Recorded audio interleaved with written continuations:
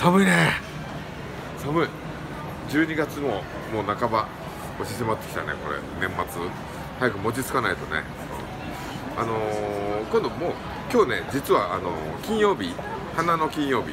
今度明日明後日ね日曜日はあのハブ吉祥寺店であのー、あれだよ宇宙の戦い。すごいねやるからね。もう今まで見たことないようなあれですか。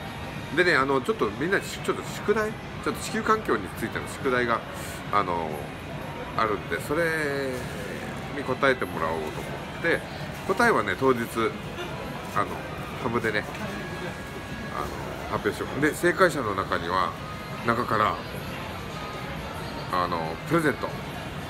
クリスマスプレゼント。いや正解者の中プレゼントをしようかなと。うん。で問題。問題はイルカとクジラの違い。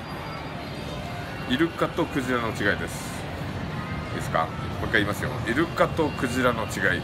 これをねあのまあなんとなく近寄ってきて言ってくれれば正解とか正解とか言うんでね、うん、あのねあさってえ、15日ね、えー、2時から14時午後2時からねあの羽生吉祥寺で。待ってるよ。うん。待ってるよ。来てね。イルカとクジラの違いで。